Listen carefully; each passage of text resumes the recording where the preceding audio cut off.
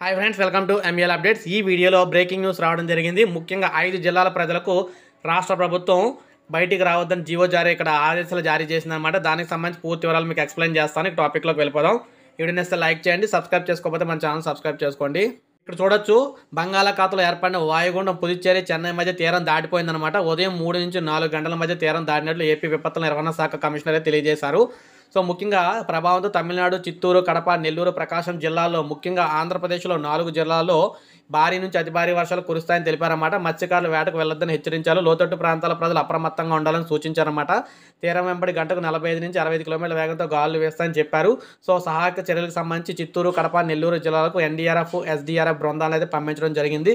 So ముఖ్యంగా వాయుగుండం ప్రభావంతో చిత్తూరు కడప అనంతపురం నెల్లూరు ప్రకాశం ఐదు జిల్లాల్లో భారీ వర్షాలు అయితే కురుస్తాయి కాబట్టి ఎట్టి పరిస్థితుల్లో అందరూ కూడా అప్రమత్తంగా ఉండాలని తెలియజేశారన్నమాట.